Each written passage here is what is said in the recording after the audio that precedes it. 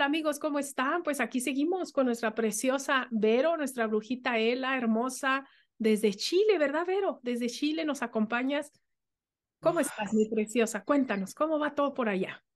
Bien, con calor, ya tú sabes que eh, eh, el verano entró, el sol entró, ya estamos a la nada de entrar ya al, al verano, verano, pero ya están haciendo unos- un calor increíble. Así que desde esta faja angosta, como dicen, larga y angosta faja de tierra, saludos para todos y seguimos. Qué bonita. Y yo acá tapando, pero está- acá estamos en pleno invierno del otro lado. Oye, mi preciosa, pero vamos a continuar con estos temas tan interesantes y tan difíciles de compartir, pero porque se necesita ser muy valiente para hablar así. Entonces, esta es la tercera parte, amigos. Eh, si quieren continuar la saga, empiecen con la primera parte, la segunda parte y la tercera parte de, de, esto, de estos temas tan maravillosos. Estamos hablando de un personaje sumamente especial, muy importante para abrir las conciencias. Eh, ¿Cómo se llama? Se me fue José Alfredo Sal- Jiménez, iba a decir. No, Salvador Salvador yo iba a decir. José Alfredo Freixedo, no, me acordé. Síguenos que, compartiendo, hermosa, con lo, lo del matrimonio. Se quedó sí, muy mire, intenso ahí. Sí, sí, es que justamente como habíamos hablado, el asunto de los niños, de, de, de las familias, ¿te acuerdas de, de, ese tema? Y yo siento que él es, si, si tenemos que hablar de, un Cristo, este es un Cristo, estuvo metido ahí, sacó la verdad adelante. Yo creo que, como decía mi mamá, como decía, de bohemio y locos todos tenemos un poco. Y lo que en mi sentir es que estos seres traen parte de esa chispa y la van dejando acá para que despertemos. Y eso fue lo que hizo este señor y nos hizo despertar con toda la información y sus libros que dejó un gran legado. Él y su amigo, ¿cómo se llamaba? Albert um, o Andreas. Andreas no se acuerda.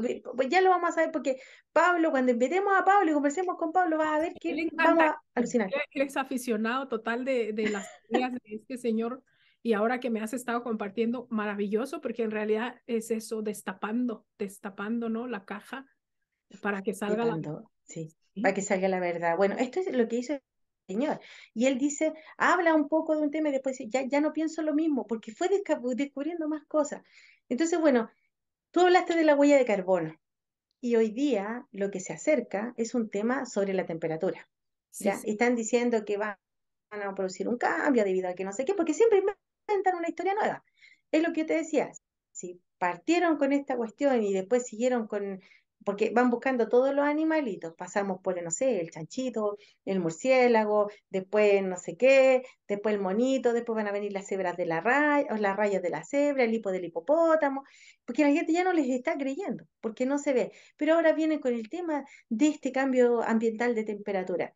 Me da tanta risa esa tontera, porque lo que quieren implementar ya está en un lugar, en un lugar de, de- eh, hagamos así para que no digamos nada, Sí, sí. eh, si eres buen ciudadano o mal ciudadano, ¿cuánta lechuga comiste? Ah, comiste dos veces esta semana, no eres buen ciudadano porque le estás lastimando el Uy, planeta. es tremendo lo que está pasando, sí, los Sí, sí, créditos, los créditos. exacto. Si eres bueno o mal ciudadano, si tienes muchos hijos, estás perjudicando al planeta por los pañales, por esto, por el otro.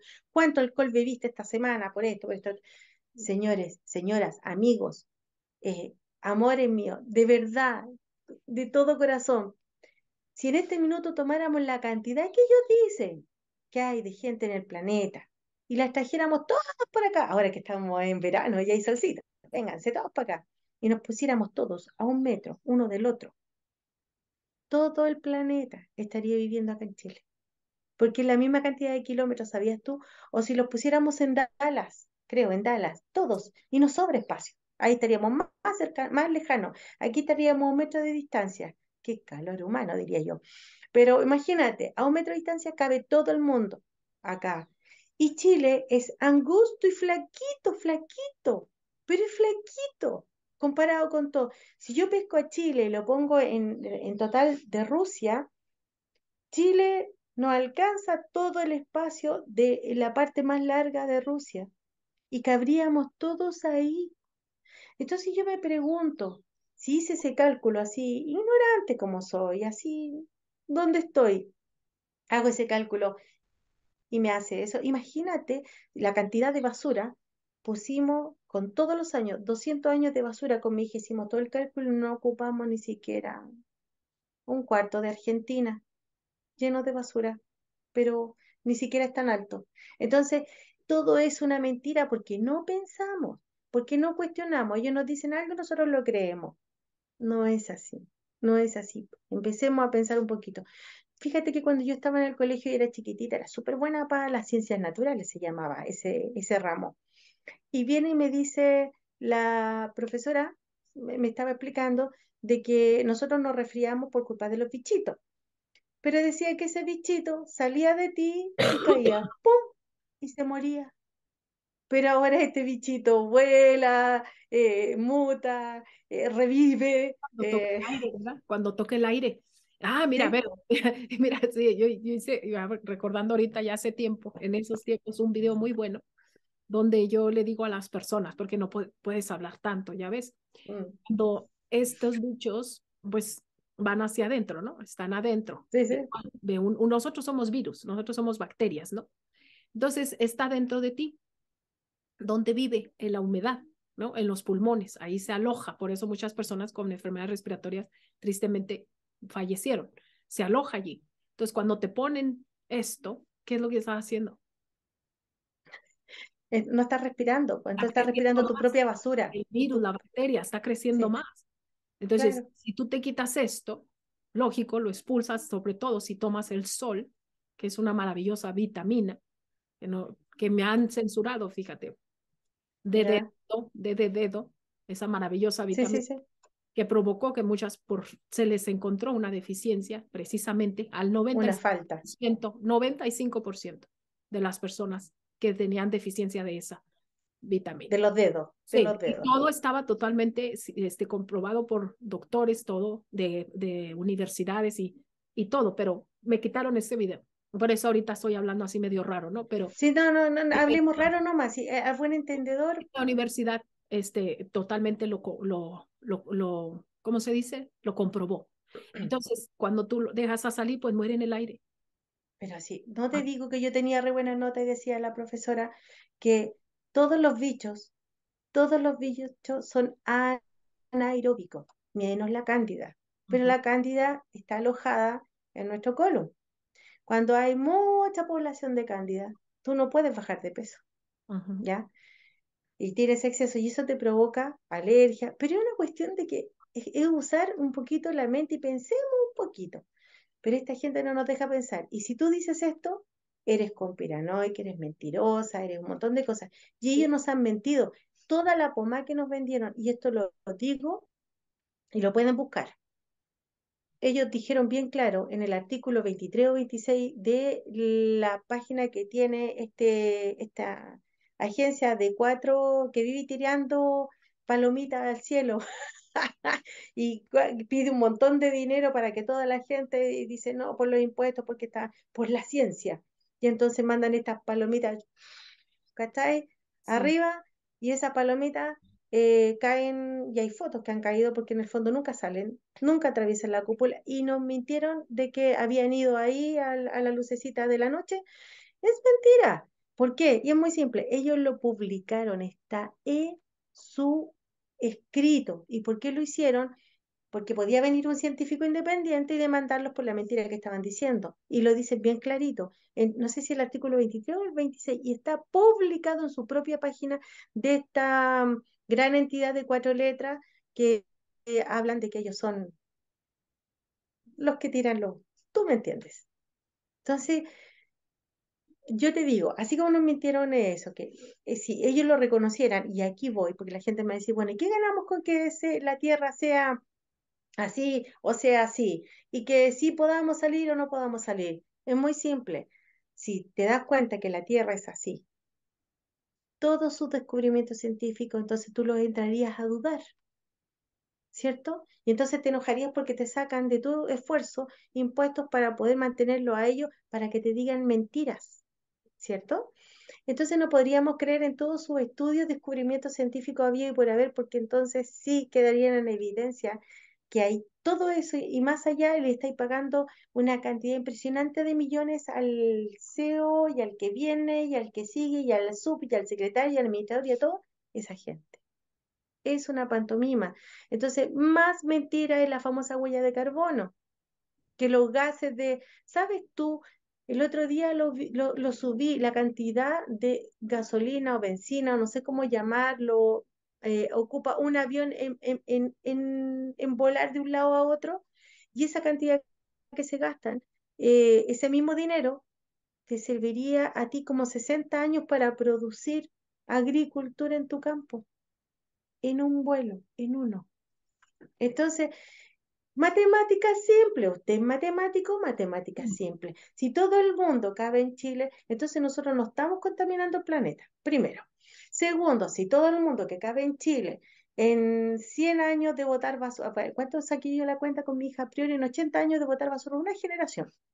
No alcanzáis a ocupar ni siquiera para arriba. Estoy hablando de, del ancho, de basura, un cerro no más grande que mi altura, como dice mi marido que soy un tapón de artesa, de un taco de un metro, bueno, ya, un metro de altura de basura en 100, o sea, una generación. Entonces, en 200 años, porque el, último reseteo fue hace 200 años, lo tienen demostrado. Eh, ¿Vamos a, realmente a contaminar? Si el sol siempre está, siempre pasa y lo quieren apagar, no lo pueden apagar, tampoco no podemos ser tan estúpidos si el sol se está moviendo. Hace un analema más encima, que lo pueden buscar, qué es lo que es, lo que significa, para qué sirve. Entonces, todo es una gran mentira. Y si nosotros aceptamos voluntariamente, ahí caemos en el tema. Está permitido engañar. Ellos lo han hecho. ¿Ya? Lo que hace que no se intervenga es que nosotros aceptemos voluntariamente, digamos, ya, sí, ok, vaya y le preste mi, mi brazo para, o le preste mi, cuerpo para que sigan viendo cosas o les sigo pagando el impuesto para que sigan tirando palomitas que vuelan y vuelan y vuelan. ¿Cierto? Eso es lo que tenemos que tener.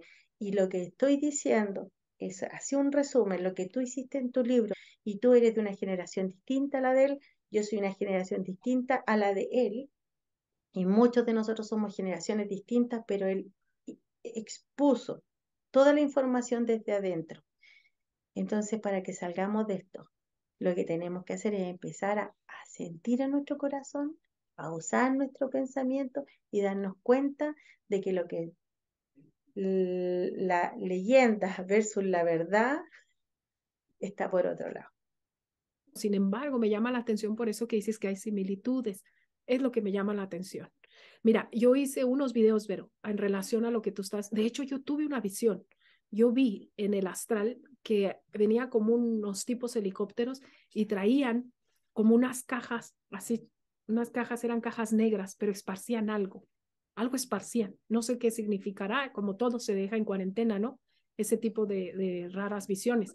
Pero sí yo le decía a las personas, cuidado, son hologramas, porque yo vi como en una, en una visión también en el astral, como un ruedo, una plaza de toros, entonces yo vi que había, toda la gente estaba vestida de negro y era pura gente importante. Se nota inmediatamente por la clase, la ropa, los trajes, así muy importante la gente que estaban en ese ruedo y iba a empezar el show.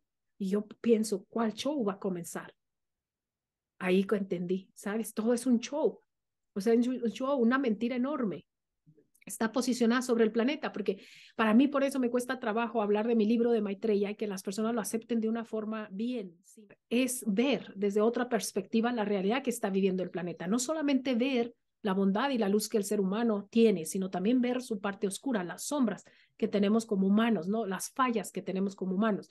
Pero más allá de todo eso, la comprensión de que al final de cuentas, sí, el mucho, esto que está ahí afuera, el show, la programación, es porque nosotros mismos lo hemos permitido, Vero. Nos hemos dejado manipular por ciertas conveniencias, por ignorancia, por inconsciencia, como sea, pero hemos sido parte de eso. Hemos sido parte de eso. Y este video habla de eso, precisamente, estos pequeños videitos, de que sí, hay hologramas, más allá de eso, hay que tener cuidado con el mundo de las energías, porque no es nada más ir a decir, yo quiero viajar en el astral, no entendemos todavía el mundo de las energías, es muy riesgoso, es muy peligroso porque sí hay manipulación.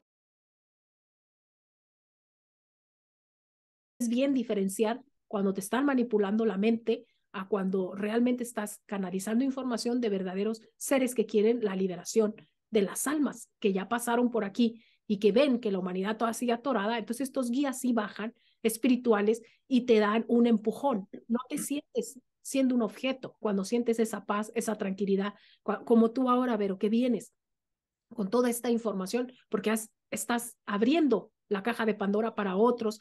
Entonces, desde niña tenías esa percepción. Entonces, está haciendo ese canal para que otra persona reciba esa información, pero tú no te das cuenta de lo maravilloso que estás haciendo porque vas y desbloqueas a otros y a otros y a otros. Y se resiste, hay resistencia, hay resistencia porque estamos acostumbrados a lo, a lo mismo, a la misma programación. No es nada fácil compartir estos temas, no es nada fácil.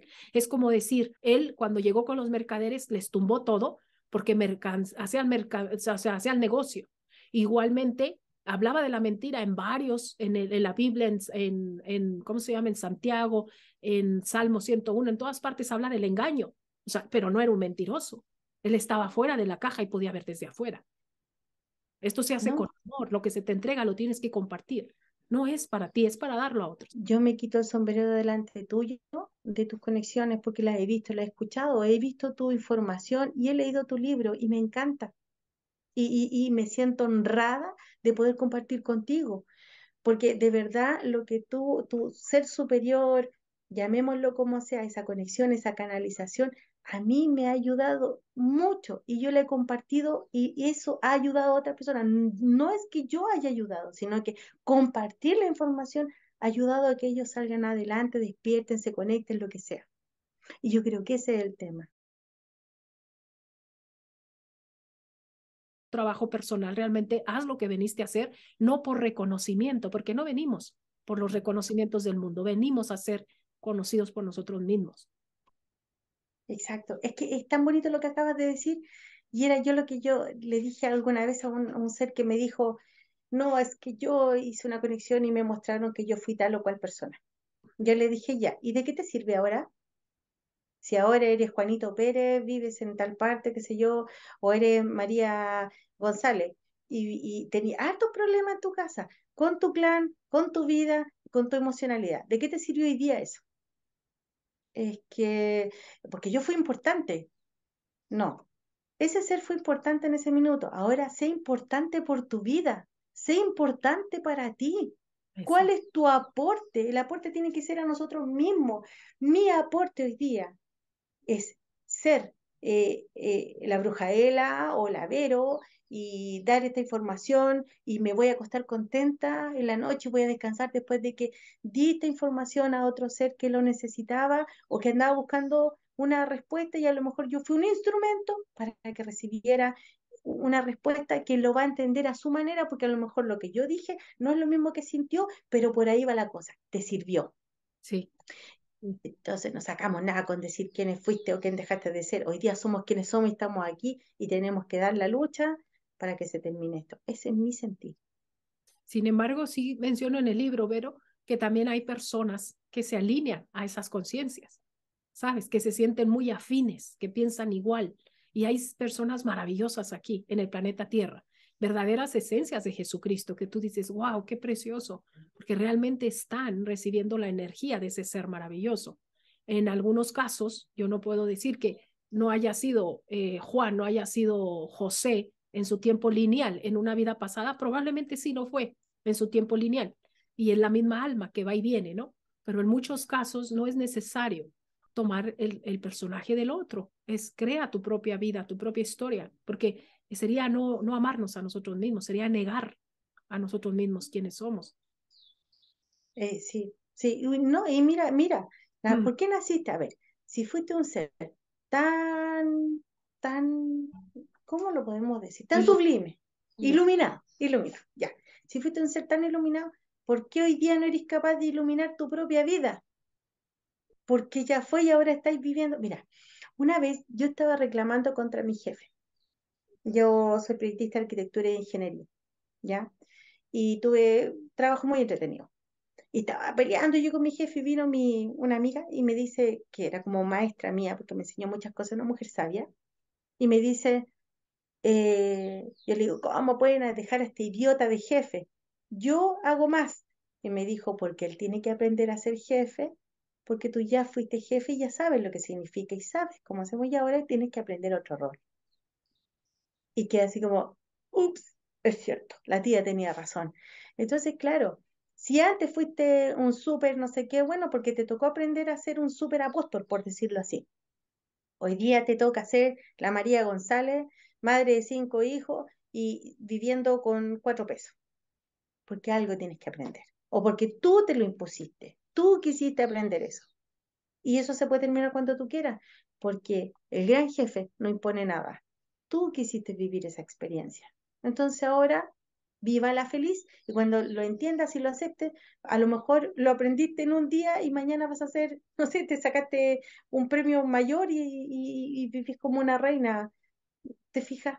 E, e, eso es todo. Pero para, para aquí llevarlo a otro tema, ¿por qué tengo que decirte a ti que tienes que eh, hablar con fulano que vio la luz? Pero a lo mejor tú la viste de otra manera y también te hizo bien. Eh, el, el, milagro de, para nosotros, el milagro de tener un hijo, traer un hijo al mundo, tú lo sabes muy bien, porque lo viviste, yo también lo viví. Pucha, los hombres a lo mejor no, no viven esa experiencia, pero también son papás y también tienen ese milagro hermoso. Pero traer una vida a la vida, hacer ese, ver nacer ese bebé que se crió dentro de ti, es un milagro tan grande y eso tiene un valor impresionante. Y claro, ese rol no se termina nunca. Hasta que nos muramos va a seguir ese rol pero, pero esa experiencia es maravillosa. ¿Por qué ellos quieren ahora eh, preocuparse por otro tipo de cosas? Si a mí no me interesa ser famosa, no me interesa que el mundo me aplauda, yo hoy día lo que quiero es compartir lo que pienso y siento para que otra persona que se está cuestionando a lo mejor me da, me dice, sí, tienes razón, yo pienso lo mismo y me da otro aporte y sacamos entre todos esta tarea adelante. No necesitamos un maestro Jesús hoy día. Necesitamos una María consciente, necesitamos un Daniel consciente, necesitamos una Edith consciente y una Vero consciente para llevar esto adelante. Eso es todo. Pues muy bonito, Vero, muy bonito lo que acabas de decir. Eso es. Así que no perdamos más el tiempo escuchando ni entusiasmando gente que tuvo algo tenías que aprender, no perdamos el tiempo peleando contra un sistema. Sigamos creando desde, desde nosotros un mundo distinto, no pasando a llevar al otro y no imponiéndole mi idea. Compartamos. Compartir. Eso es. ¿Cierto? Sí, sí. Sí, es, es muy bonito. acabo de ver, pero no sé quién es esa persona en un video donde le dice uno de los alumnos, le dice, ¿por qué yo tengo que aprender latín y griego? Y él le dice, porque tú contarás la historia que se ha escondido. Es bueno aprender lenguas muertas, el sánscrito, por ejemplo, porque mucho de nuestros orígenes y mucho de la historia están en las lenguas muertas y son pergaminos, información que se ha perdido o que se ha ocultado a la humanidad. Por eso se destruyó la biblioteca de Alejandría, si has escuchado, porque se, se quiere destruir la verdadera historia que hay detrás de todo. De alguna manera, sí necesitamos saber el origen, de dónde venimos, sí necesitamos porque son nuestras bases como humanidad, como raza humana. Pero la historia va reintegrándose de nuevo, se va haciendo. La historia cada día que pasamos se va haciendo una historia nueva. Pero sí es importante de conocer de esos escritos. De ahí salieron los evangelios apócrifos y todos los que nunca se dijeron y que tienen, que me voy a dar de verdad el tiempo de escucharlos todos, pero tiene una verdad absoluta, preciosa, que está muy, muy conectada a la verdadera fuente original, o sea, al verdadero eh, despertar, a lo que verdaderamente Jesucristo quiso decir y que hasta la fecha, por eso es, se cuida la verdad como una copa frágil, delicada, por eso se cuida la verdad. ¿Por qué razón? Porque es la, se pervierte, se corrompe. Por eso es grave, por eso es delicado ver la mentira en las personas, porque mira lo que han hecho con la historia. Por eso hemos estado viendo tantas mentiras, por eso existe toda esa falsedad alrededor, que es la que acompaña al ser humano creyendo que está viviendo la verdad, pero no es cierto, es una falsedad también. Por eso hay que ser muy delicados, muy, ¿cómo se dirá la palabra? Cuidadosos con esos temas, porque en realidad este, estamos de alguna forma también corrompiendo esto, de lo que nuestros ancestros de alguna forma heredaron para que el planeta viera de dónde venía y ahora sí podamos comprender mejor a dónde vamos. Mauro Viglino, él tradujo la Biblia y por eso dijo que la Biblia no tiene nada espiritual y que en realidad él buscó toda la información espiritual y no hay. Es un libro de historia de seres sanguinarios. Perdón, Ah. pero así, y él, él- porque él Hay ni siquiera él es cura, Él- Sí. a, él lo, lo- a él lo contrató el Vaticano. O sea, la- el Vaticano contrató su empresa donde él trabajaba porque él sabía lenguas muertas.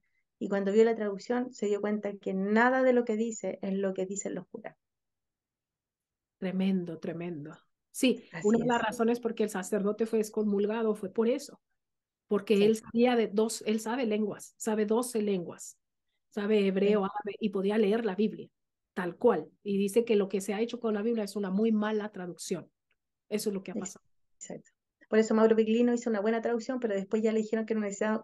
Pero él tuvo la suerte de entrar a la Biblioteca del Vaticano y encontrar mucha información. Y la está diciendo, por eso lo tiran basura y le tiran basura encima, ¿Cómo se como lo hicieron Pablo, Mauro Viglino, a Mauro, donde Mauro. Mauro, Mauro Viglino, y dice, la, uno de sus libros, La Biblia no es espiritual. Y Paul Wallis es de la misma, de la misma línea y te va explicando paso a paso que la Biblia lo que te describe no es lo que te dice.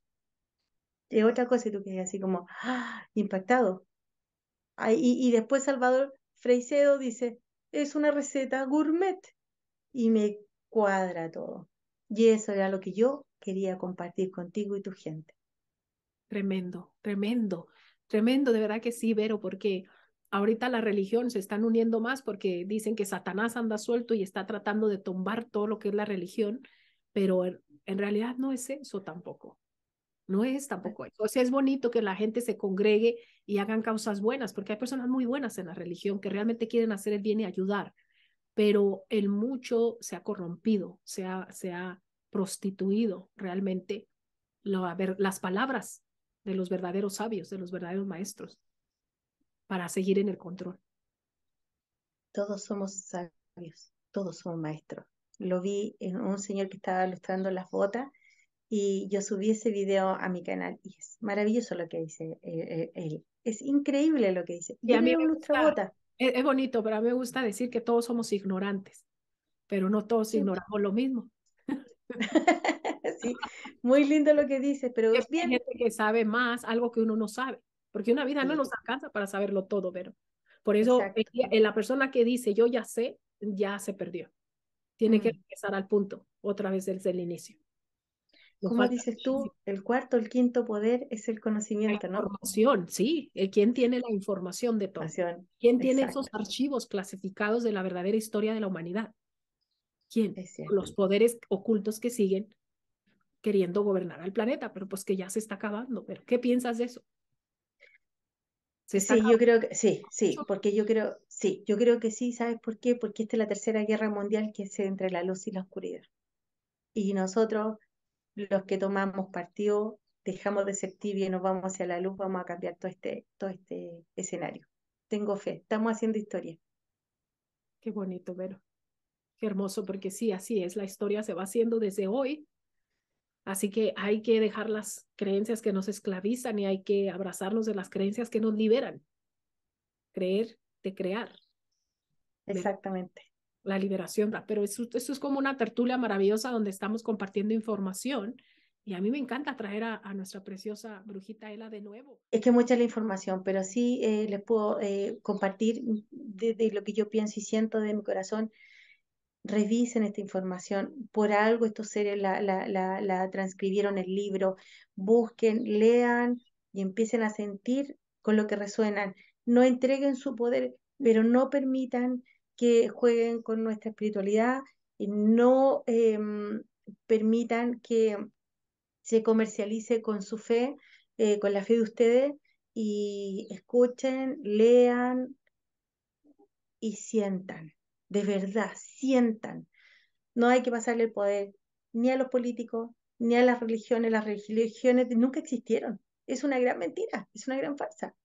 De hecho, los pueblos, si nosotros vamos los pueblos indígenas, vamos a darnos cuenta que ellos tenían su conexión con la tierra y su espiritualidad, pero no tenían religión. Ellos vivían perfectamente sin religión, ellos se sanaban solos y, la historia siempre se traspasaba del más viejito al más joven y siempre iba quedando un sabio, siempre quedaba un sabio. Entonces, si eso funcionó, porque hoy día nosotros tenemos que depender de los demás? Por eso les digo y los vuelvo a repetir, no entreguen su poder a nadie, no se dejen eh, vender la pomada de que alguien vio o habló con la misma María, porque la historia no es tan así. Eh, y que si ustedes tuvieron una conexión, una visión, no se desilusionen porque su propio conocimiento y su ser superior, que de alguna manera lo que ustedes creían se comunicó con ustedes y les hizo bien. Si les hizo bien, bien, esa es la idea. Y porque hay seres que no son buenos. Eso puedo decir. Y eso quería comentar y te doy mil gracias, Edith, por permitirme compartir en estos tres videos que ojalá les sirvan a nuestros amigos.